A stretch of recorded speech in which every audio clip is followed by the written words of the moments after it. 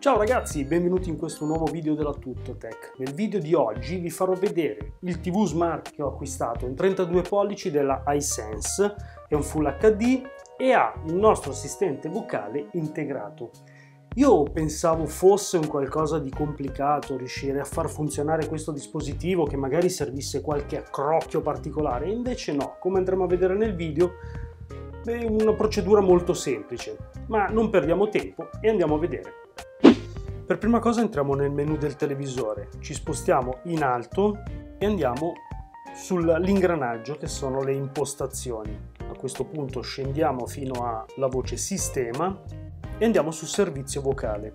Qui ci dà la possibilità di utilizzare il nostro assistente vocale, come vedete in basso c'è scritto imposta l'assistente vocale e qui dobbiamo dare il nome al nostro televisore. Allora, siccome io ho già un TV, quindi non vorrei che si confondesse, vado su personalizza e utilizzerò la parola monitor.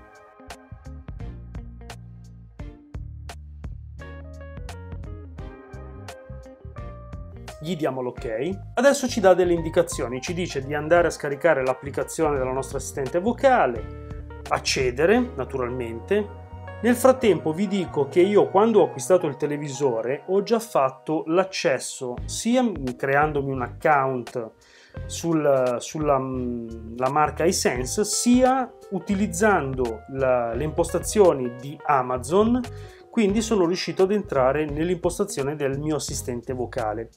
A questo punto ci spostiamo sul cellulare. Siamo sull'applicazione del nostro assistente vocali, entriamo in skill e giochi ed andiamo ad abilitare la skill vida. Eccola qui, è la prima che vi compare. Ci cliccate sopra, la selezionate. Allora, come vedete io ho già la, la skill attivata naturalmente perché ho già fatto una prova. Voi vi basterà semplicemente, come per tutte le altre skill, fare abilita vi chiederà di fare il login della password che avete utilizzato per il vostro televisore e poi dopo vi chiederà l'autorizzazione per poterla abbinare col nostro assistente vocale. Voi date tutte le autorizzazioni e a questo punto comparirà il messaggio che il dispositivo vocale ha riconosciuto la skill. Una volta abilitata la skill, tac, pronto! E vi dà già degli esempi. Nome dell'assistente vocale, spegni monitor, metti il volume a 5 su monitor, eh, metti su HDMI su monitor. Perché? Funziona non con un dispositivo esterno ma avendo collegato la skill al nostro assistente vocale andrà ad agire direttamente sul televisore grazie al fatto che anche il televisore è collegato ad internet quindi al mio modem. E con una serie di ponti l'uno sull'altro possiamo andare a creare queste impostazioni. Diamo fine. Abbiamo effettuato tutto quello che c'era da fare facciamo una prova magari col volume. Alexa alza volume monitor. Come vedete sulla parte destra compare il simbolo del volume. Proviamo a dargli un comando un po' più specifico. Alexa alza volume di 5 su monitor. E come vedete era 40 è passato a 45 Alexa Monitor canale 5. Sintonizzo su canale 5 su Vida. Questo è avanti un altro. Non riesco a trovarlo su Vida.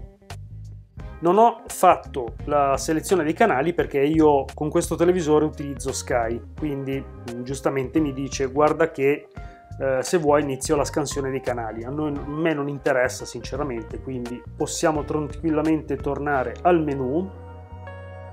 Alexa, spegni monitor. Bene, come avete potuto vedere i passaggi sono veramente semplici. Il televisore risponde a tutti i comandi che gli vengono dati, ma soprattutto volete mettere la comodità dal letto, di non stare lì a cercare il telecomando diventa un problema, eccetera, eccetera, eccetera. È vero, dovrò mettere un altro Panamalar da questa parte per poter remotare eh, il mio TV, il mio decoder di Sky. Il televisore è un televisore iSense 32 pollici, ai tempi lo avevo pagato con il Black Friday sui 139 euro circa, attualmente sta ad un prezzo di 179 euro.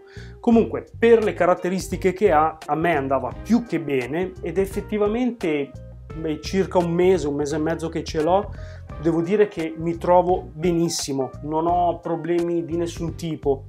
Anche le recensioni comunque portavano una votazione molto alta, quindi mi sono convinto all'acquisto ed effettivamente mi trovo veramente bene. Quindi se volete acquistare questo tipo di televisore che magari vi può servire per la cameretta, per la camera da letto come nel mio caso, vi lascio qui sotto il link in descrizione. Bene ragazzi, io direi per questo video è tutto, ci vediamo al prossimo, ciao!